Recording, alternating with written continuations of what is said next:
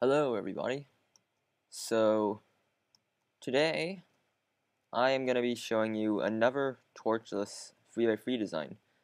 Uh, in my last one it had a few problems.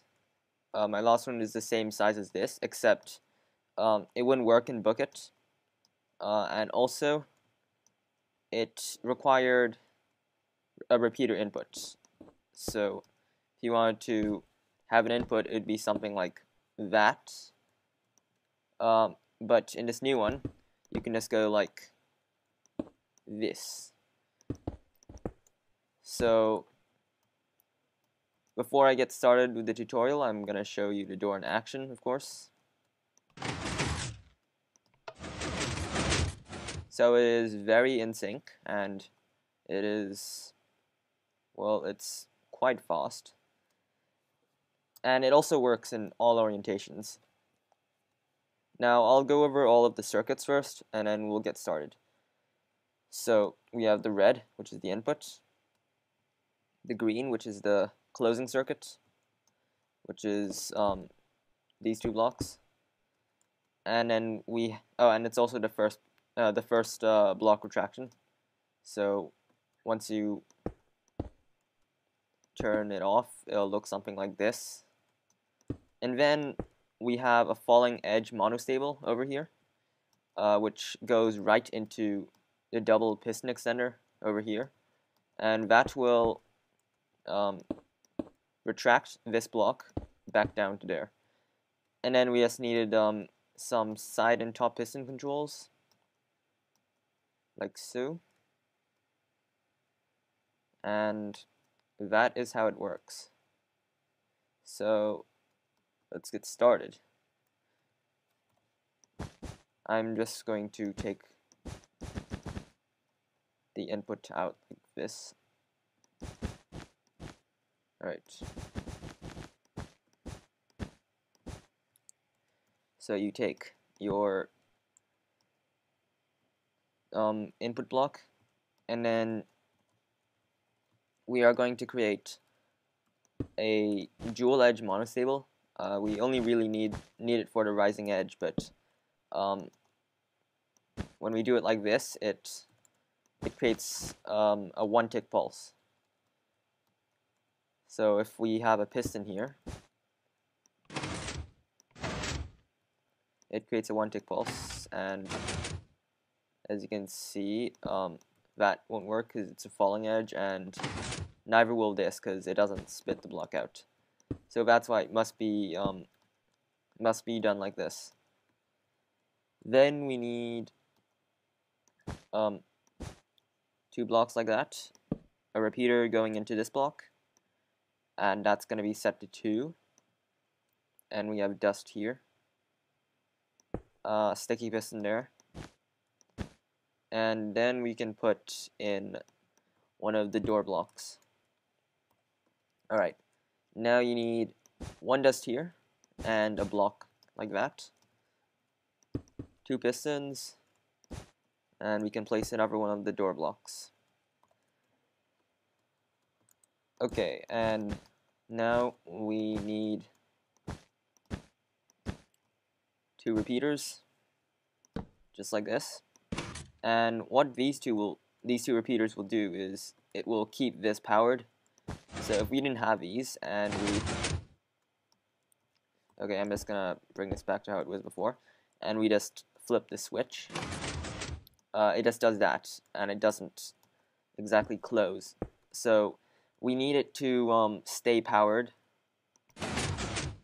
I should have probably reset that before I unflipped it but um, so we need it to constantly send power in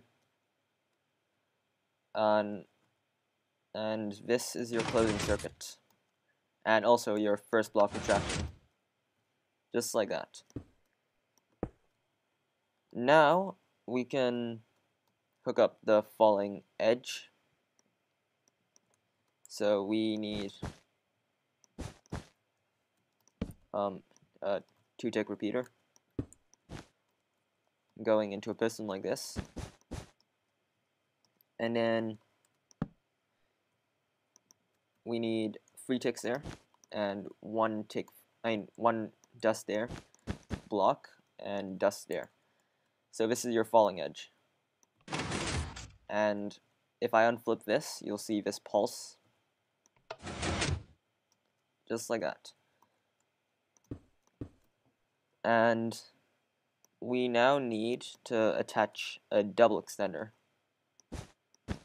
And the only real way you can um, make this top block extend in a torchless design is if you have a dust going into this block. Because if if you want to send power into here any other way, it would have to be no wait, what am I going on about? Uh, you could you could of course do something like this, um, but that's pretty much the same thing. Uh, and the only real other way of doing anything is to put a torch here, but it wouldn't be torchless. Okay, uh, so once we place one repeater here, um, this is the double piston extension.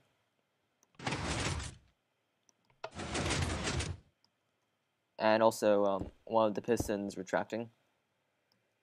But now we need to send one more pulse over here to make this piston uh, reach out and grab this block and pull it back in. And we can do this very simply by putting two repeaters like this. The first one will be on two ticks and the second one will be on four ticks. Or actually, you could do it like this. Which probably makes it faster. So, yeah, you should do it like this. And now, we are done with all of the main part of the FreeIFree, which is these two blocks.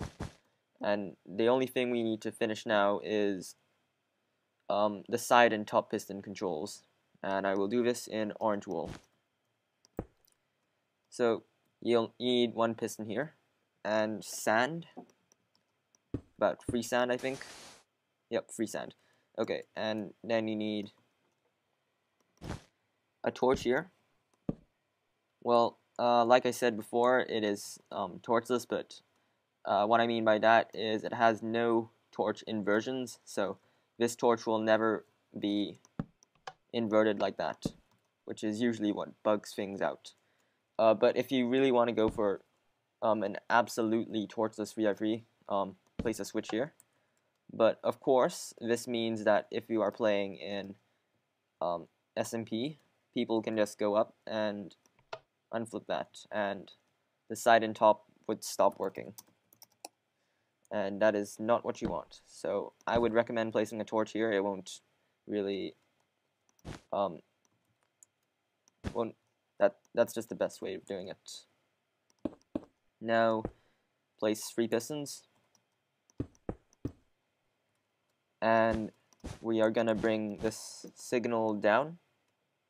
And to make this uh, piston update, so if we just do it, if we just um, do that now, you can see that this piston doesn't extend uh, because it's powered diagonally, which means it can actually, it is actually receiving power, but before it actually um, moves, it needs to receive an update, like so. And the way we can, one way which we can do this, which is what I think is the best way, um, is to place one power rail just like so. Now I know you can place um, redstone lamps like so, but if you watch closely you can see that redstone lamps actually have a delay when turning off. So this piston will actually take longer to um, retract than this, this piston above it. So watch closely. There. Uh, so there was a very slight um, delay, but um, if you want to be completely in sync, you should just put a power rail there. And now you need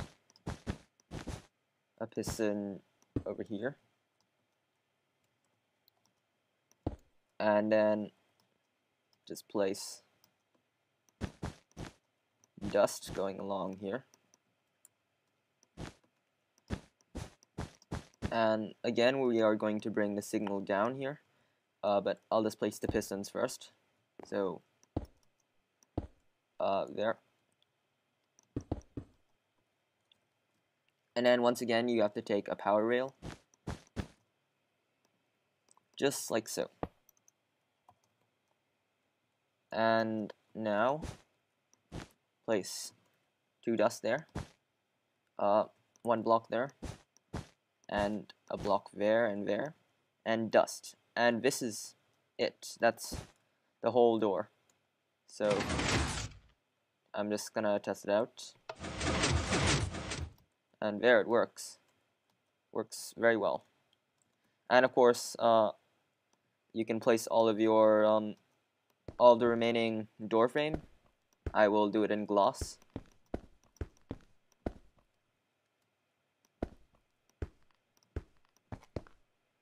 And there you go.